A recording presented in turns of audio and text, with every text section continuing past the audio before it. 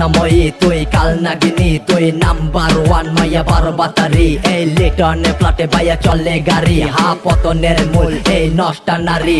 পোলা টাকা খাইয়া বাইয়া সাইজা তাকো কামদানি যেটা তো সলিড মাল তুই মাইয়া কম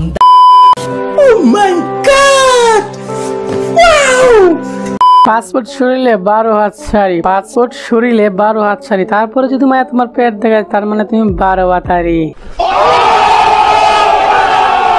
আজকের এই ভিডিও দেখার পর অনেকে আমার ব্যাপারে নেগেটিভ ভাবতে পারেন সো এই ভিডিও আপনার জন্য পাঁচ হাজার টাকার শাড়ি পরে কি লাভ যদি দুইশো টাকার ফিতা টাইনে থাকতে পারে আর এই উচিত কথাটাই কোনো একটা ছেলে বললে বলে এই ছেলে তোমার ঘরে মা বোন নাই আরে বললে আমার ঘরে মা বোন আছে কিন্তু তোমার মতো মিয়া খলিফা নাই So let's come to the point. Hello guys, it's Mr. Shandu. Welcome back to the channel everyone. So আজকে আমরা কথা বলব বাংলার কিছু বারো বাতারিদেরকে নিয়ে So without wasting time guys, let's for intro.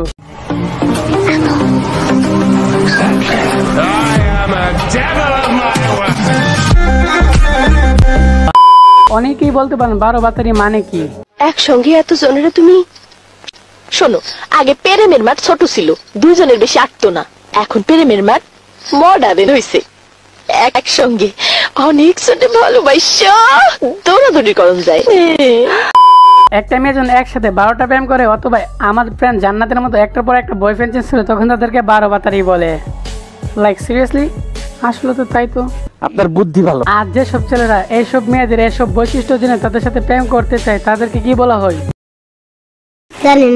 আমরা সারা জীবন বারো বাতরি মেয়েদের কি বলে থাকি কিন্তু আমরা ছেলেরা যে বারো বাতরি ছাড়া প্রেম করতে চাই না তা তো কই বলতে চাই না। আমি বিশ্বাস করি না। কারণ ভদ্র বোরকা পরা মেয়েদেরকে দিয়ে তো আপনার জ্বালা মিটবে না। ইস মিথ্যে কথা। তাই? মই তুই কাল নাগিনি তুই নাম্বার ওয়ান মাইয়া বারো বাতারি এই লিটনে প্লাটে বাইয়া আমি কিছু দেখেছি। ফুট করে বলে ফেলা। আমি বলুম না আমার শোরুম করে। আমার সরম করলে ফেমাস হওয়া যাবে না আমি কিছু দেখাতে চাই। ফেমাস হইতে চাই আমি ফেমাস হইতে চাই। তোরা যে যা বলিস ভাই ওই আমি ফেমাস হইতে চাই।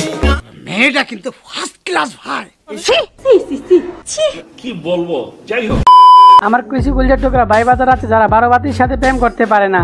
বিষয়টা একটু ব্যাখ্যা করবেন? বিষয়টা ব্যাখ্যা করার মতো কিছু নাই কেন পানা তা বলতে চাই। সাধারণত বারো বাতাদের বয়স হতে বিশ থেকে আঠারো বছর। আপনি তো ভাইয়া বিশ থেকে বেশি তার জন্য আপনার নাই আর কি। আই মিন গার্লফ্রেন্ড অন্য কিছু বোঝাতে চাই নাই ওকে সাধারণত বারো বাতারি তাদেরকে এলো করে? যাদের বয়স ষোলো এবং তাদের বাবার অনেক টাকা রয়েছে। সাইজ ডাজেন্ট ম্যাটার মামা টাকাই সব। বলিস কি?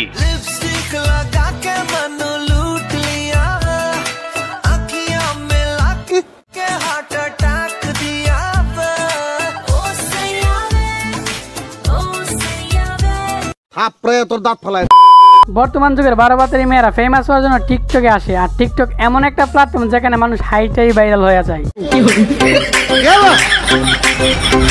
আজকে হাইটাই ভাইরাল হয়ে যাবে।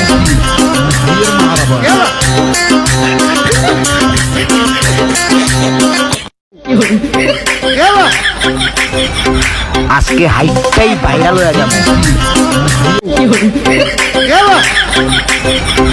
আজকে হাইটটাই ভাইরাল হয়ে যাবে।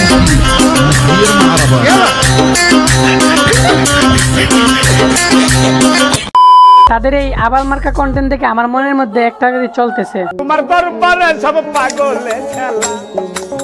বাবা তোমার দরবারে সব পাগলে খেলা। অনেক রকম পাগল দিয়ে মিলাইছে মেলা। বাবাই অনেক রকম পাগল দিয়ে মিলাইছে মেলা। আজ থেকে টিকটকের আবালগিরি শেষ রুস্টিং এর বাংলাদেশ। সো গাইজ আজকের এই ভিডিওটি এই পর্যন্ত। যদি আমাদের ভিডিওটি ভালো লাগে তো অবশ্যই ভিডিওতে একটা লাইক দিন এবং আমাদের চ্যানেল নতুন থাকলে অবশ্যই চ্যানেলকে সাবস্ক্রাইব করবেন যাতে করে আমাদের নতুন কোনো ভিডিও কখন নয় মিস না করেন। তো আল্লাহ হাফেজ গাইজ সিউ না দা ভিডিও বাই